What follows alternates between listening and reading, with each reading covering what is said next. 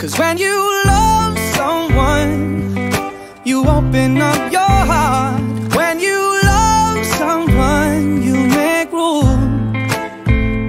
If you love someone and you're not afraid to lose them, you probably never loved someone like I do.